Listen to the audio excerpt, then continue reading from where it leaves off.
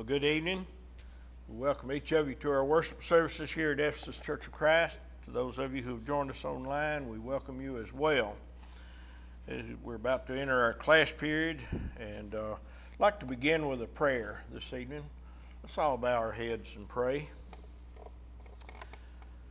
Almighty God, our gracious Heavenly Father, we thank you so much for your love for us, for your plan of salvation you devised even before you created the world.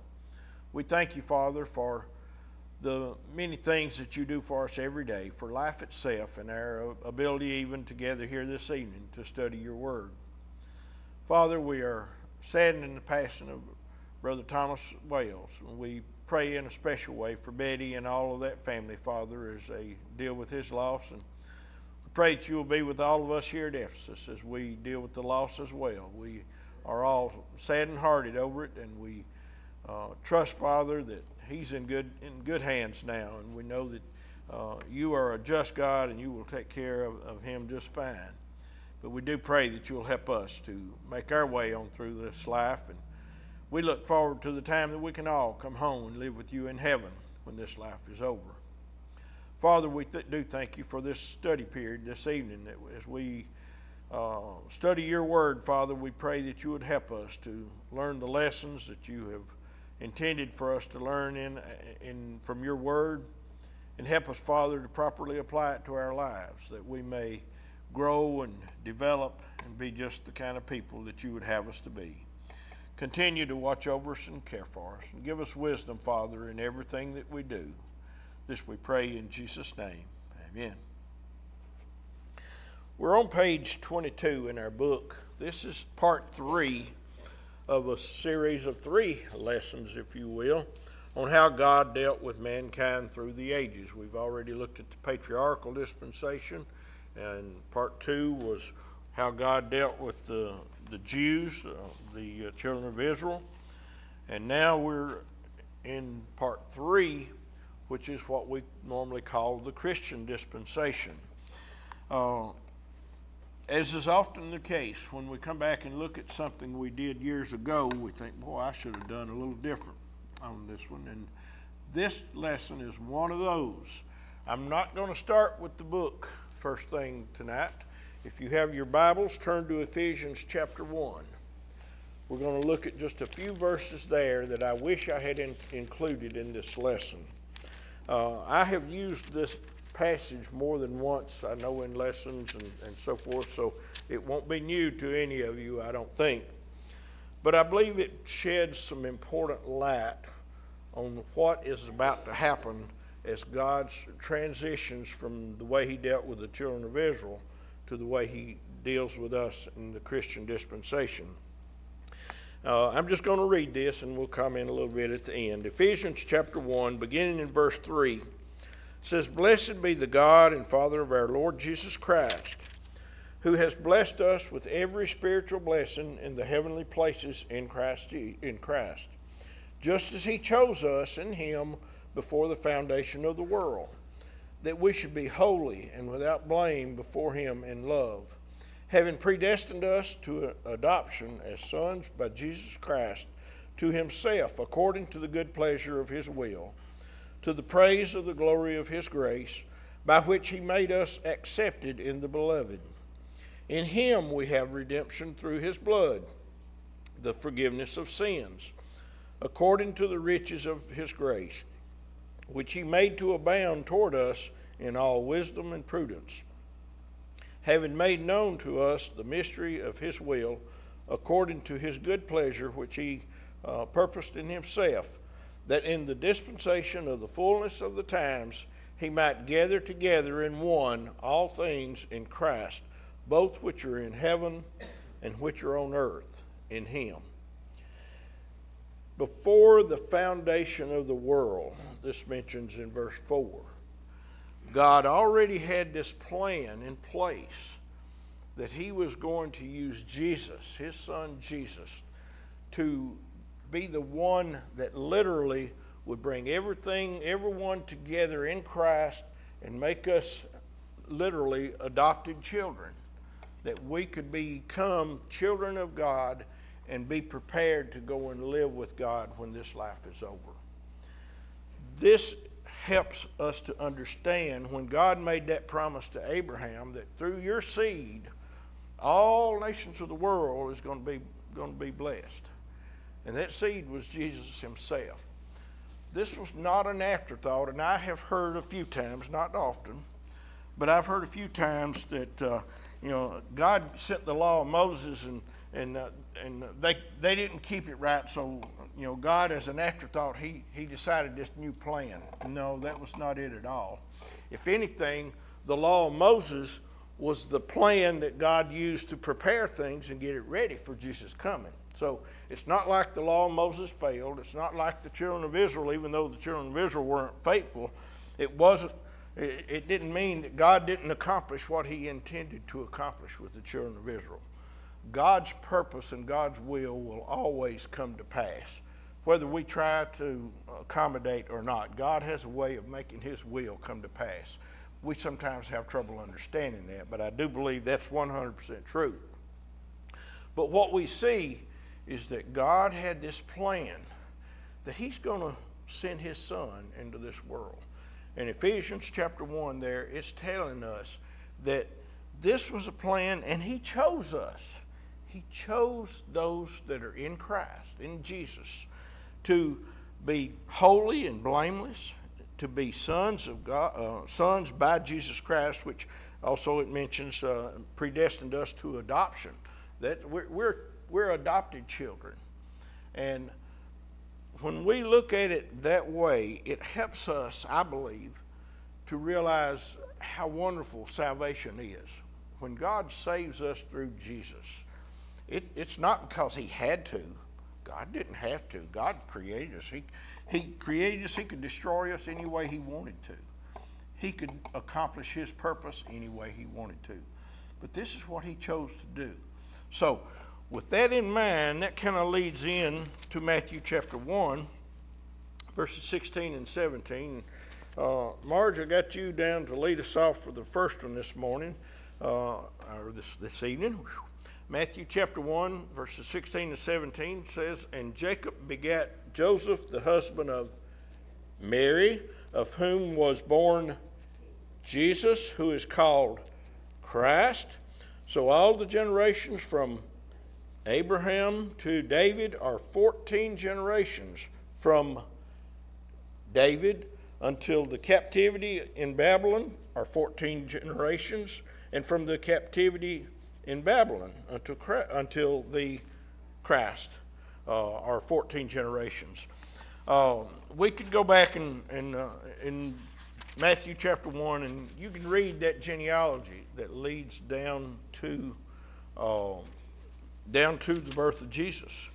And uh, it breaks it down very neatly in these 14 generation segments, if you will.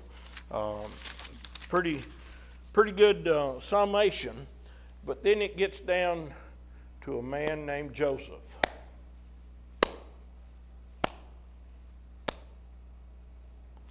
Was Joseph the father of Jesus? That's a loaded question. I have thought about this and I've struggled with this for many years, and I am not sure I have the answer to the question that I just asked. I, I know for a fact that Joseph was not the physical, earthly father of Jesus. The Bible very explicitly says Jesus was born of the Holy Spirit. The Holy Spirit, we're going to see in just a minute, uh, the Holy Spirit is what came upon Mary. And so she was with child from Mary. We're also going to pick up verses uh, uh, 18 and 19 between this and the next one uh, that will tie into this as well. But what we see, and if you will stop and notice, and I think this is true even today, uh, the Jews trace their genealogy through the men. Sorry, ladies, I didn't choose that, but that's what they do. And when they trace this genealogy, they go right down through there, and it got down to Joseph. And Joseph was betrothed at that time to to marry Mary. And I don't understand all of their customs. I don't know exactly at what point they consider the marriage, you know, final. But she's referred to him as his wife, even before they, what we would think of as uh, become married. Because you notice what happened. Let's go ahead and read verses. Uh, let me get my thinking straight. Verses 18 and 19. Uh, that follows the verse that Marge just covered. Verse 18 says, Now the birth of Jesus Christ was as follows.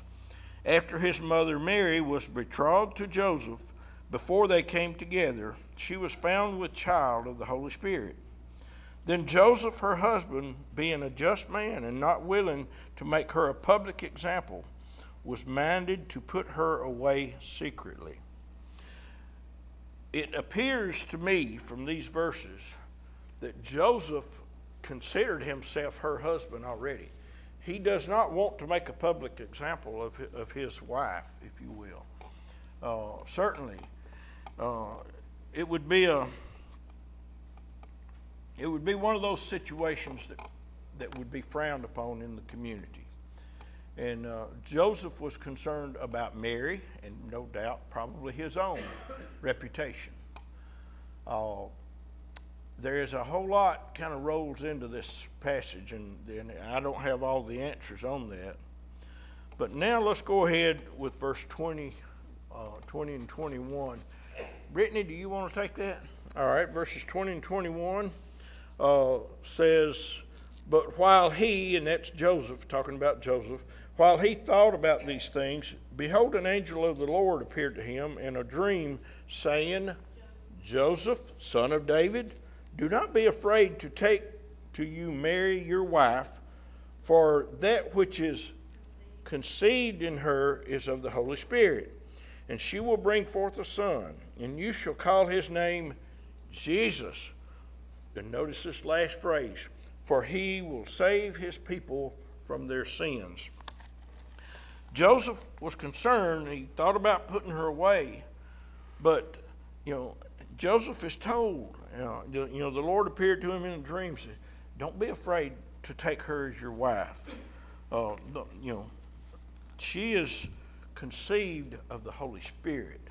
There's something very special about this situation. And of course, Joseph, there's no doubt he had, he probably, his mind probably went off in a dozen different directions here.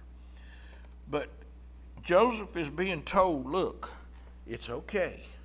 She is, she's going to bear a child. You're going to call his name Jesus, and he's got some more information as well that will be given to him. But he's going to be the one that's going to save his people from sins. Who was Jesus' people at that point in time? What would, what would Joseph have thought when he heard that? House of David, exactly. The children of Israel. The children of Israel, the very same people that were given the law. So at this point in time, I just imagine when Joseph heard that, you know, he's hearing, oh, this son that my wife is about to have is going to save our people from their sins.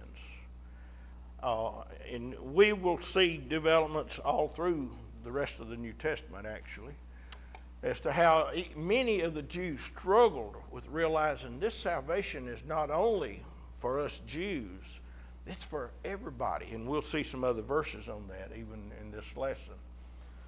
But what we see is that plan that, that is in, that we're given in Ephesians chapter 1 that we read earlier. This is God's plan being rolled out. And he's doing it a step at a time. And God chose to do this through Mary. And we read that Joseph was a righteous man. He was, you know, he was a God-fearing person. God, God can use righteous people and unrighteous people for his accomplishing his will. But I don't I can't think of a single case where something important like the salvation of our souls is brought about by anybody besides righteous people.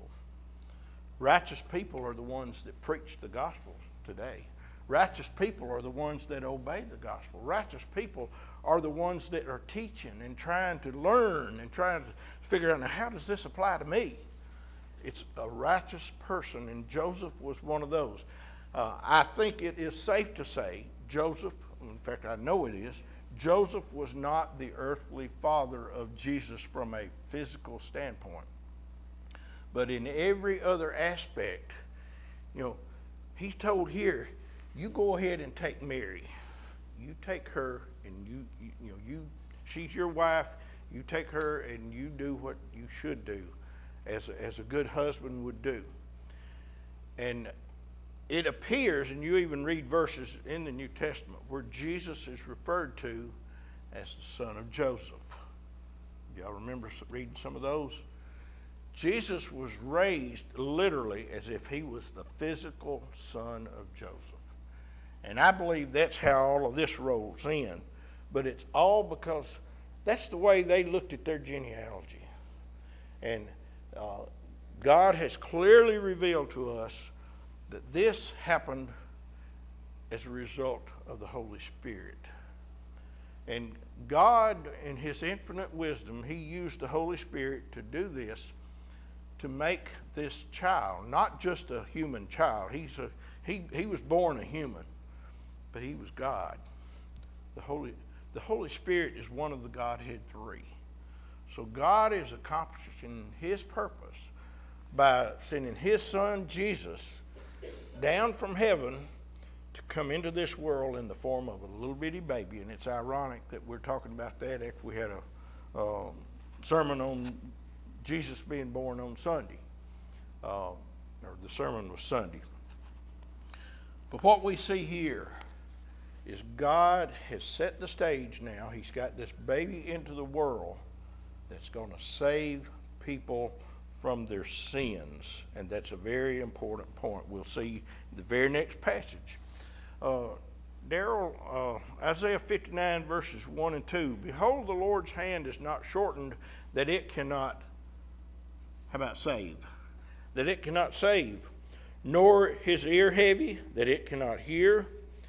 But your iniquities have separated you from your God, and your sins have hidden his face from you. That passage in Isaiah was said for the children of Israel. The very same people that we talked about, they had given, been given the law. But sin is what separated Adam and Eve from God. That's why God had to back off. He had, you know, they had to be treated differently for a while. There's punishment for sin. There always has been. There always will be, so long as the world stands. And then the sin will be that sin will be punished forever. But what we see here is that even with the children of Israel, God is saying, It's not that I can't save you. I can save you. My hand's not too short to reach out and take care of you. He says it's your sins that separate us. So sin is the problem. Sin is that root cause, if you will, that caused everything else to become a problem. You know, this, the relationship with God is like it's separated. And in order to, we're going to see in this lesson this evening, in order to reconcile us and bring us back, we needed Jesus. The children of Israel needed Jesus to bring them back so that they could be in, in good relationship with, with God. We, likewise, in fact, every person that's ever lived are reconciled to God through Jesus. And that's a really, to me, that's a really powerful lesson that if we can ever get that in mind, I mean, we, we struggle sometimes. We, we think we're supposed to be perfect, and God wants us to be perfect. Don't get me wrong. But God also knows that none of us are. That's why He sent Jesus in the first place. He said, i have got a plan, and I'm going to take care of that sin problem. And that's what he did with Jesus. So you and I, as we read these verses and we see sin is the problem, Jesus is the fix. Now we got to we got to go from there, and that's kind of where we lead into next. Uh, Bobby, you want to take the next one? Romans chapter 2, verses 11 through 16. It's fairly long, but we'll work our way through it here. Uh, for there is no partiality with God, for as many as have sinned without the law will also perish without the law, and as many as have sinned in the law will be judged by the law. For not the hearers of the law are just in the sight of God, but the doers of the law will be justified. For when Gentiles who did not have the law by nature do the things in the law, uh, these, although not having, although not having the law, are a law to themselves, who show the work of the law written in their hearts, their conscience also bearing witness, and between themselves their thoughts accusing or else excusing them in the day when God will judge the secrets of the men by Jesus Christ according to my gospel. There's several verses there, but it's very important that we notice. God is not partial. Who was God's chosen people before Jesus came? Children of Israel. They were God's chosen people. It's, it's actually, they're actually called God's chosen people. But it didn't remain that way.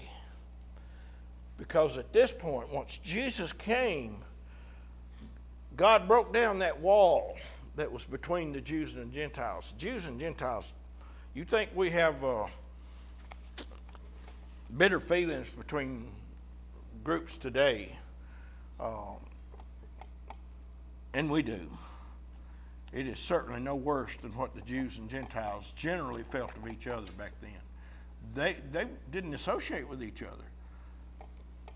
But when Jesus came, he broke down that wall and God no longer had partiality. You know, you, you Jews are my special people. You, you, you get the law. You get all of these things that the rest of the world didn't get. When Jesus came, that kind of got whoosh, swept right out. And now here we have God is saying, and there's no partiality. Because notice what happened.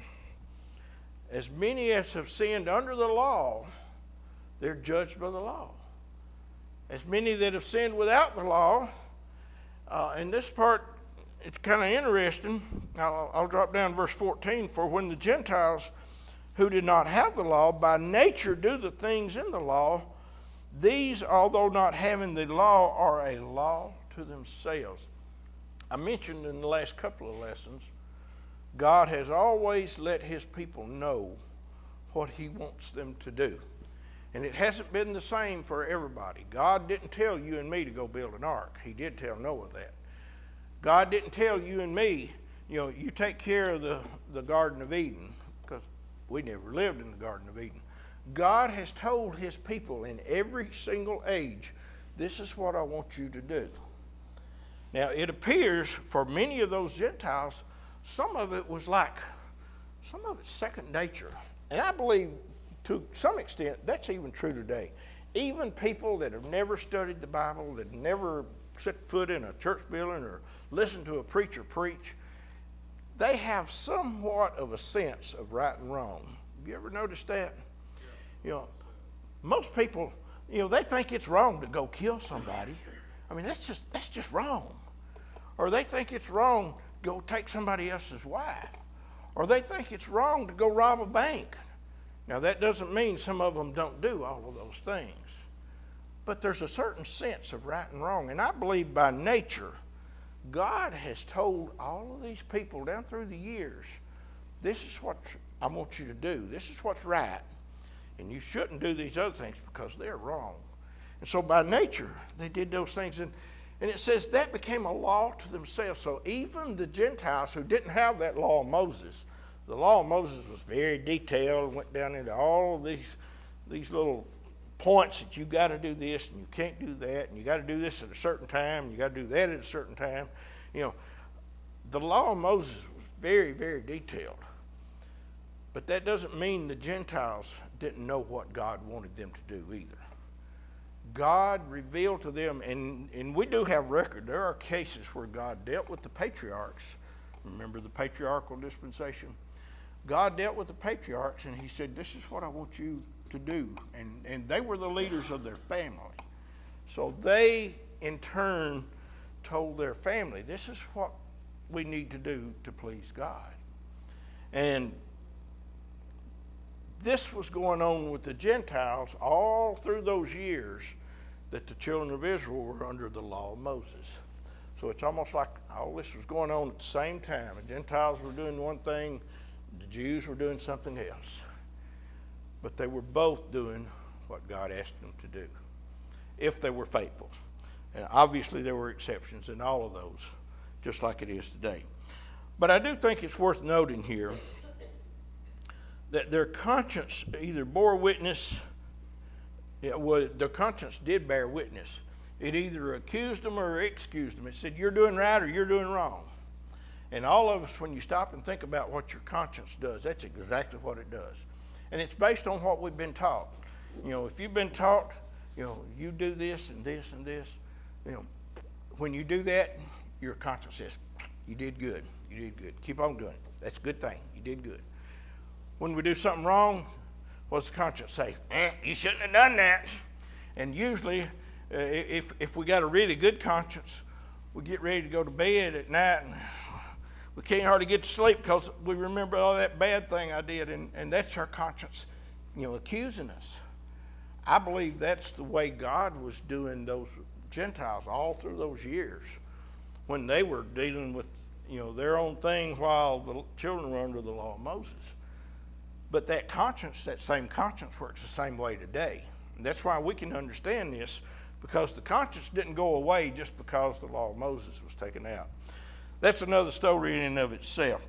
But notice the secrets are, ju- or the, God will judge the secrets of men by Jesus Christ according to the gospel.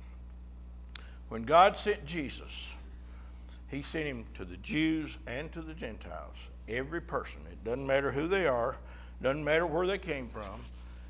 He sent Jesus to take care of that problem of sin that we just talked about. So now we have a fix for the problem. All right, Romans 3 21 to 26, Diane. But now the righteousness of God apart from the law is revealed, being witnessed by the law and prophets, even the righteousness of God through faith in Jesus Christ to all who, uh, uh, uh, yeah, all who believe. I kind of skipped a couple of words there, but uh, to uh, to all on on to all and on all who believe, uh, for there is no difference. For all have sinned and fall short of the glory of God, being justified freely by His grace through the redemption that is in Christ Jesus. Let's stop there because I'm going to hit propitiation a little bit harder here in just a minute.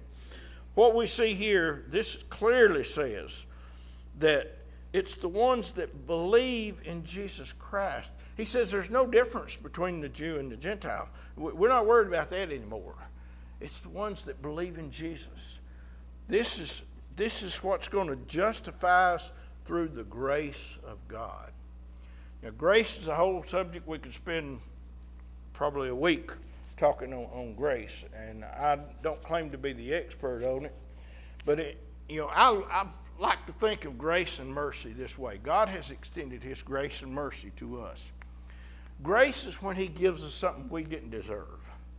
You know, we didn't deserve to have our sins forgiven, but God gave it to us anyway. Mercy is when I did something bad and I should be punished terribly for it. You know, I have sinned and really you know, sin, the, the penalty for sin is death. So that means I should die for my sin. But God had mercy on me. And He sent Jesus to pay the price for that sin. So now I don't have to suffer death for my sin. But it's all because God extended His grace to all of us. He's, he's given us something we, we'll never deserve it. You know, even the best person on this earth, and there's nobody perfect, but even the best person on this earth does not deserve salvation. We don't deserve the hope of heaven when this life is over. But God has made this extended to every one of us. And it doesn't matter who we were, who we are, where we live, what color of our skin is, and who our parents were. None of that matters. It's who believes in Jesus, and we'll see later who obeys Jesus. Very important. All right, Diane, we'll continue verse 25. Whom God set forth as a propitiation by his blood through faith to demonstrate his righteousness, because his forbearance God had passed over the sins that were previously committed, to demonstrate at the present time his righteousness, that he might be just and the justifier of the one who has faith in Jesus. And I put in brackets there propitiation is the process of reconciling us with God and appeasing Him.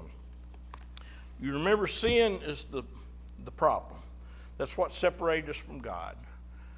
But Jesus is the propitiation that reconciled us and brought us back to God. That is powerful. If when we stop and let it sink in and realize, look what God has done. And He did it through that Son Jesus that was promised back to Abraham way back then. In fact, it was even God even promised it before the end of the world. That was His plan back when we read there in, in Ephesians that we just started the, the class with. This was not an afterthought. It was God's plan. And it's very important that we realize this propitiation came about by Jesus' blood. I have never seen a sacrifice offered the way they did under the law of Moses. But I can tell you the Jews that were under the law of Moses, they knew what that meant. They had certain sacrifices that they were to offer and they, they would cut their throat and they would let the blood out and they would use that blood to sprinkle on certain places and they did some things that to us just sounds very barbaric but it was shedding of blood the jews understood the value of the blood because life is in the blood and that's mentioned in the new testament as well when jesus died on the cross. He shed his blood for you and for me. That is how the propitiation, if you will, took care of that sin problem. That paid the price for my sins and your sins. When we believe in Jesus and we do what he has said, that brought us back together. It reconciled us to God. And it's so important to realize we are reconciled to God through Jesus, not because I'm so good, I did so good, I, I you know, I did this or I did that. No, it don't matter what you did. It's what Jesus did. That's what brought us together, and it's so important. Uh, Eric, Romans five verses one through eleven. I know our time's running close. I'm going to try to finish this one. Uh, Therefore, having been justified by faith, we have peace with God through our Lord Jesus Christ, through whom also we have access by faith in the grace, or in this grace, yeah, grace, uh, which, in which we stand and rejoice in hope of, of the glory of God. And not only that, but we also glory in tribulations, knowing that tribulation produces perseverance, and perseverance, character, and character, hope. Now, hope does not disappoint because the love of God has been poured out in our hearts by the Holy Spirit who, has, who was given to us. For when we were still uh, without strength, in due time Christ died for the ungodly. For scarcely for a righteous man will one die, yet perhaps for, uh, it should be for a good man, someone would even dare to die. But God demonstrates his own love toward us, in that while we were still sinners, Christ died for us. Much more then, having now been justified by his blood, we shall be saved from the wrath through him. For if when we were enemies, we were reconciled to God through the death of his Son, much more having been reconciled, we shall be saved by his life. And not only that, but we also rejoice in, uh, in God through our Lord Jesus Christ, through whom we have now received the reconciliation. That, that propitiation became our reconciliation. Jesus became our reconciliation. But I want you to notice a couple of things there. We're justified by faith. If you don't believe it, you don't have the faith. I mean, you, you, don't, you don't receive the benefit. I thought it went dead on me. Uh, but by faith, we're justified. We're, that means, you know, we're made to stand just inside of God. Not because we did something really good, it's because of what Jesus did. He paid the price, He's the propitiation for it, and it gave us peace with God. Peace can be looked at in a lot of different ways, but the best peace you and I can ever have is to be at peace with God. Our sins are taken away. We're not having to worry about that anymore. We're, we're trying to live for Him every day, and we, we're trying to do the things that pleases Him. And oh, when we do that, you remember the conscience we talked about a little bit ago? The conscience says, You're doing good. You're doing good. Keep on doing that. That's a good thing. I believe that all of that rolls into the peace that we have with God. And God designed us that way. God gave us that conscience to encourage us, to help us to know when we're doing what we're supposed to be doing. But I also want to notice there in uh, verse 8 that Christ died for the ungodly. Who are the ungodly? How many have sinned? Romans 3:23, every one of us. Christ died for every single one of us. And we may want to point fingers and say that person's really bad or that person's really bad. And, oh, look here, I'm, I'm trying to do what's right. I'm okay. I'm, I'm doing fine. No. I like to use this example. I've probably used it in front of a lot of people. Rocky, I'm going to pick on you right now. I'm going to say, Rocky, look, look at all these sins you've done, these things you've done. I've got one finger pointed at Rocky. How many fingers have I got pointed at myself? One, two, three. That was shooting up somewhere out in the sky. I like to look at it this way. I may point fingers at somebody else. Shame on me. Because I got three fingers coming back at me. I need to be looking at me. And I need to be looking at the sins that I've done. And what do I need to do to do what God has wanted me to do?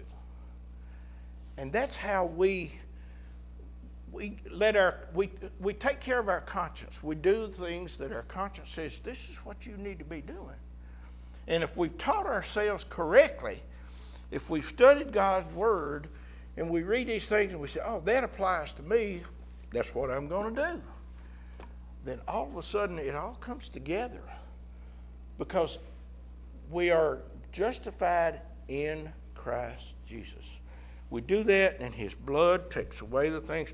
So we don't need to point fingers at somebody else that says, oh, they're the ungodly. No, the ungodly is us, the ungodly is me.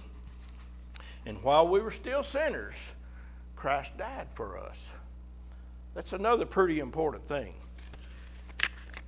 You and I we would struggle to go die for our enemies. We would probably struggle to die for anybody. But can you imagine? Jesus died on the cross, he was nailed to the cross by the very people, number one, that accused him and caused him to be put there in the first place, those leaders of the Jews. But he also died for the very ones that drove those nails in his hands and his feet. He died for everyone when Jesus said, Father, forgive them, for they know not what they do, that ought to just really just rip our hearts out. How could Jesus do that? He did it just exactly this way. Because while we were yet sinners, Jesus died for us. He, he's taken care of that problem of sin. And it's, it's so powerful. I, I, I know y'all can tell. I get emotional on this. Because I believe that is exactly what we should do when we realize what Jesus did. And when we study things like this and we think, well, we're reconciled, we're made back in peace with God because Jesus shed his blood. His life literally ran out of his body. And he died on the cross so that you and I can have our sins gone. We fixed the problem. No, we didn't fix the problem. Jesus fixed the problem. And so it's easy for us to look back on the sidelines and, and think, oh, look what I've done, when really all we need to do is just back up and say, nope, not what I've done, it's what Jesus did. He is the propitiation for my sins and for your sins. And that is a good place to stop. Lord willing, next week we'll take up with Romans 6, verses 1 through 18. And Renee, if you don't mind, we'll start with you next week.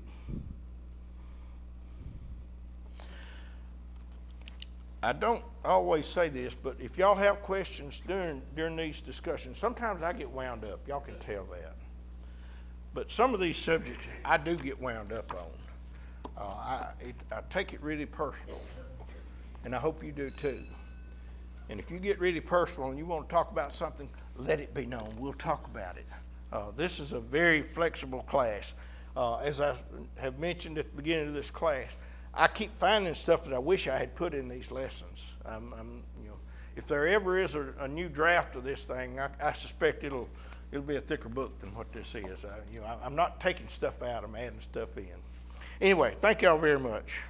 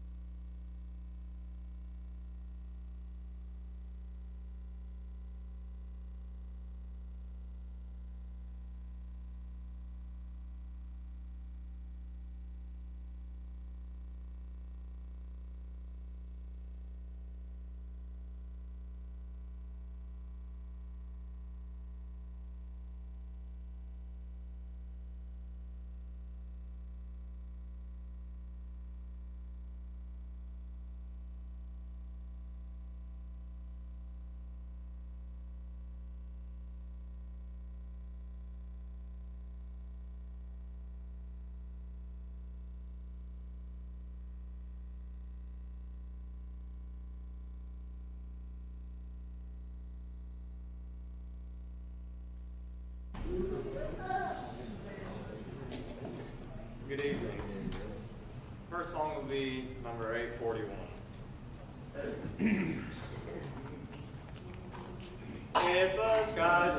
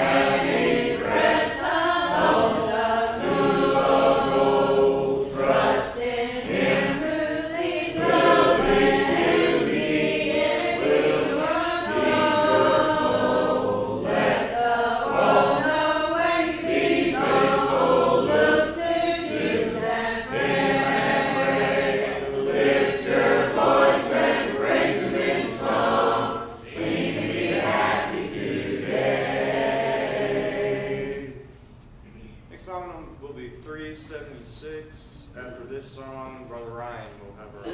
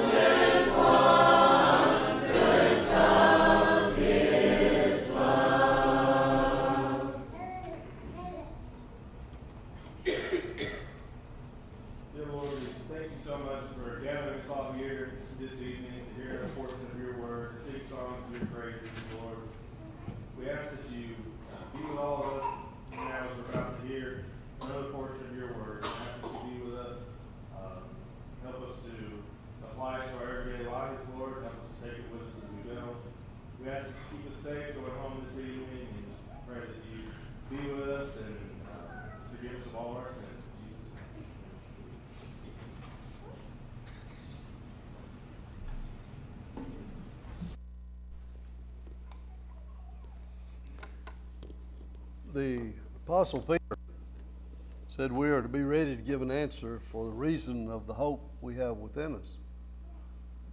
Today I had an interesting challenge related to that one night. I'd gone shopping a little while, and uh, I, as normally do, don't go in the stores with her. I like to find me a bench somewhere and sit down, and so I did. But it started getting cold, so I thought, well, I'll go in. Uh, and so, no, actually, so I think she came to the door and called me. She wanted to show me something. So, anyway, I went in the store, and when I went in, she said, I'm glad you're in here because this guy's quoting scripture, and you need to get in this discussion. Uh, and he had quoted, and I don't even know what all had transpired before I went in, but they had got to talking about the Bible and various things related to it. And he quoted from 2 Timothy chapter 2 and verse 15, uh, where he said that, uh, where Paul says that we're to study, show yourself approved to God, a workman needeth not to be ashamed, rightly dividing the word of truth. And this guy was really making a, a, a point, an important point, that we uh, rightly divide the word of God. That, that, you have to rightly divide it if you're going to understand it. And you're not going to understand it if you don't rightly divide it. And, and of course, Diane said, Well, where do you go to church? And he, he told him, He said, I'll tell you what, they don't always rightly divide it either. Uh, he said, you, You've got to rightly divide it. Well, I got in there and we got to talking and, and so on. And, and uh, we, we began talking about how one becomes a Christian and what the Bible teaches and so on. And of course, we didn't agree on some of the things about that. And uh, as we were discussing it, he said, Well, that's where rightly dividing it comes in. He said, You have to understand that the New Testament is a transition book and he said, as far as we are concerned, where I go to church, he said, we only live by the letters written by Paul. He said, the gospel is under the Old Testament and the Matthew, Mark, Luke, and John, and all of that is a transition. The book of Acts is a transition from Jews to Gentiles coming in. And so none of that really affects us today or our thinking or our, our salvation. You have to read just what Paul says in order. And he said James was writing to Jews, so that doesn't count. Uh, and so he, he basically he, he took out everything except what Paul wrote, and that's everything. Well, he said you got to rightly divide it, and that's the way you got to rightly divide it. And so I, of course, had a problem with his divisions and how, how he was dividing it, and we discussed that a little bit. And um, but but I found that interesting because what that told me is that here's a guy that, that I have no question in my mind that he's as sincere as I am. And he's studying and he's trying to figure out how to understand what God said, and yet we're coming to different conclusions because we're using different methods of interpretation, different methods of, of, of dividing the scripture as to how it applies to us and what applies and so on. And, and I think, and, and I'm not sure where he came up with what he came up with. I've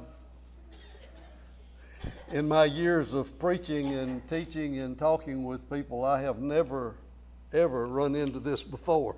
This is the first for me. Uh, so I have no idea where he came up with this or how he came about reaching these conclusions. Uh, but we, we got into a discussion of baptism, and of course, that was he said he said I knew if y'all was Church Christ, we was going to get into this one, uh, and uh, so, and I didn't correct him about being Church Christ. I, I just let that one slide, but uh, you know how I feel about that. But anyway, we, uh, as we were talking about baptism, uh, I said, well, you go to the book of Acts, and this is how the division part came up. I said, you can go to the book of Acts, and I said, every single person that's converted to Christ is baptized into Christ. He said, well, that, that book doesn't count. Uh, he said, that's transition, that doesn't deal with us. And I said, well, Paul said that as many of you as are baptized into Christ have put on Christ. And so you have to be baptized into Christ. And, and I said, that tells me then that it is the point of baptism when we go into Christ, that's when we become a Christian.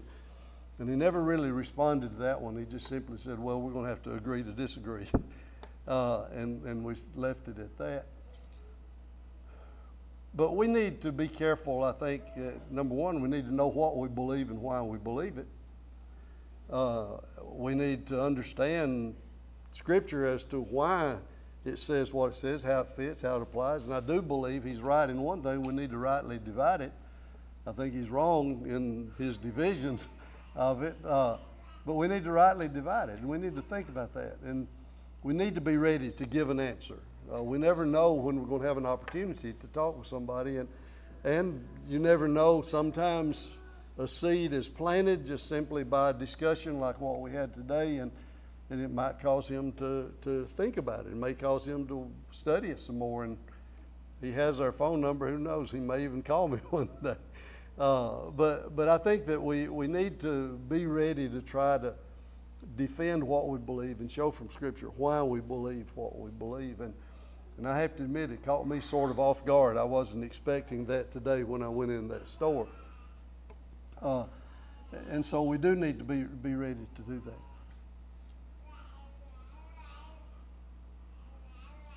He went on to say that, and he, he was he was talking about grace, and he said, We're saved just by grace. That's it. He says, Nothing that we do at all he said, a lot of people say you have to repent. He said, that's a work you don't have to repent.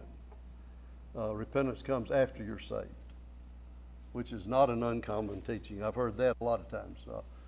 Uh, but, but, I, but, and so he said, certainly baptism would be a work that you don't have to do that in order to be saved.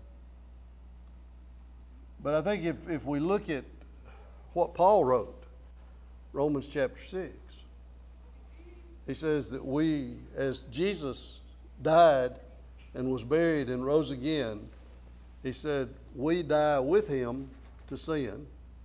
We are buried in baptism, and we're raised to walk a new life. And, and I, I quoted that to him. And the fact is, we don't begin that new life until we're raised up from baptism. That's the point in time in which we are. And and baptism is a response of our faith. It is a gift. Our salvation is a gift of God.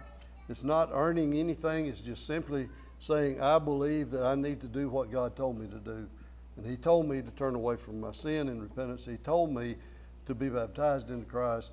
And when I do that, Peter says, then baptism saves us, not as a uh, work, not as a removing the dirt from the flesh, but an answer of a good conscience. We know we did what God told us to do, and therefore we know that we've been saved. Tonight, if you're here and you're not a Christian, we certainly would urge you to accept the gospel as it's taught in the New Testament and come to Jesus as we stand and sing this song. Sweetly over land and sea,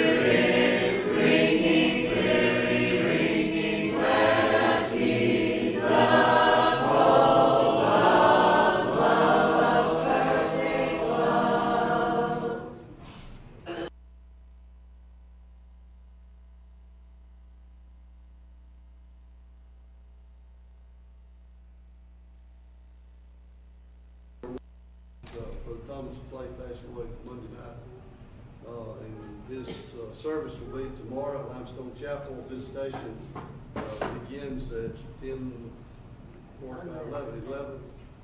Okay. Eleven to one forty-five, I knew there was forty-five.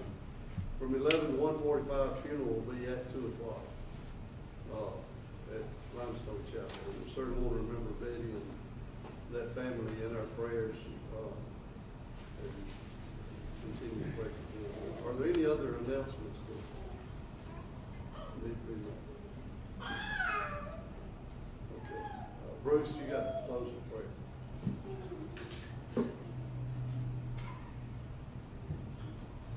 Dear Lord, thank you for this day. Thank you for all this many blessings. Thank you for bringing us out here tonight to study another portion of your word and sing songs and praise your name. Lord, tonight we, uh, we come to you with heavy hearts as the loss of Thomas, uh, as he was such a good blessing through the years. Uh, please let us all be that shining light as he was. Please be with uh, Betty and the rest of his family as they go through this time. Uh, be with them and keep them. As we're about to be separated, Lord, go with us, guide, guard, and direct us. In the end, we've been found faithful.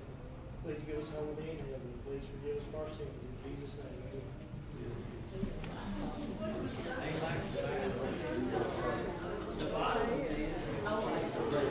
amen.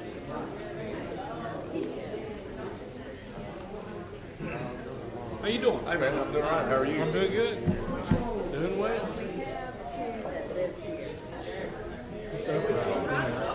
Upright. Upright today. Yeah, you don't you don't realize the older you get, the more you really believe and really think that you like it.